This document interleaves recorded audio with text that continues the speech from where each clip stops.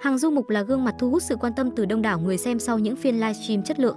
Những phiên bán hàng đặc sắc trên nền tảng số thu hút hàng trăm nghìn người xem và chốt hàng ngàn đơn đặt hàng chỉ trong thời gian ngắn. Thời gian qua, Hàng Du Mục cùng các cộng sự của mình, trong đó có team Quang Linh Vlogs liên tục giới thiệu các sản phẩm nông sản Việt Nam trên các phiên livestream. Trong đó, sản phẩm gạo Việt Nam được cô dành nhiều tâm huyết, đồng thời cũng được các cư dân mạng ủng hộ nhiệt tình. Không chỉ mang đến những sản phẩm tốt, một số khoảnh khắc của cô cũng trở nên viral trên khắp các hội nhóm bởi tinh thần tích cực và sự đầu tư trong những lần xuất hiện. Gần đây, Hàng Du Mục đã quay trở lại Trung Quốc và vẫn tiếp tục công việc livestream bán hàng như trước đó. Bên cạnh những sản phẩm quen thuộc mà cô thường bán thì giờ đây còn có thêm cả những túi gạo, sản phẩm nông sản Việt tiếp tục được cô livestream. Tuy nhiên, trong phiên live mới nhất ngày 28 tháng 7 vừa qua, Hàng Du Mục đã bất ngờ gặp sự cố khi đang livestream mặt hàng gạo. Cụ thể, khi cô đang ôm một bao gạo và chuẩn bị giới thiệu sản phẩm thì phiên livestream của cô bất ngờ bị cảnh báo vi phạm.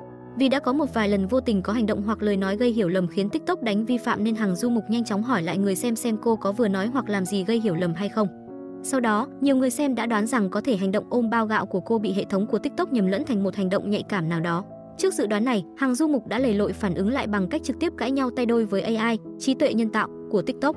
Sau đó, khi ekip của Hằng Du Mục xử lý vấn đề thì lại nhận được thông báo về việc sản phẩm được bán không đồng nhất với sản phẩm được giới thiệu.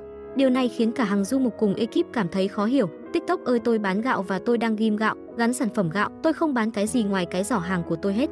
Thậm chí sau đó, hàng Du Mục còn hài hước đùa rằng bán gạo không được cầm bịch gạo đâu mọi người. Mặc dù gặp sự cố nhưng phản ứng lầy lội của hàng Du Mục khiến người xem không nhịn được cười. Nhiều người bày tỏ sự thích thú trước phản ứng bất ngờ này. Trước đó, hàng Du Mục cũng đã nhiều lần livestream bán các sản phẩm gạo Việt Nam. Trong các phiên livestream này, cô xuất hiện cùng người em thân thiết là Quang Linh Vlog và đại diện nhãn hàng. Cả ba người nói chuyện rất ăn ý và còn cùng nhau ăn một mâm cơm rất ấm cúng. Mà livestream này nhận được sự yêu thích của rất nhiều người và kết quả chính là bán được một lượng gạo rất lớn.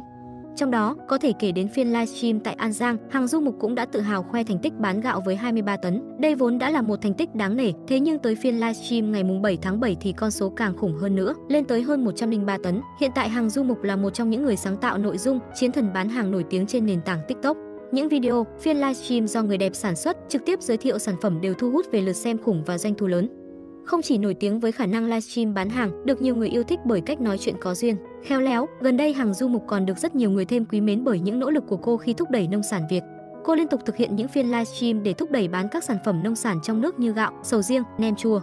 Hàng Du Mục cũng từng chia sẻ cô luôn sẵn sàng hỗ trợ bất kỳ lúc nào để thúc đẩy sự phát triển của nông sản Việt Nam, điều đó càng khiến cho cộng đồng mạng thêm yêu mến cô.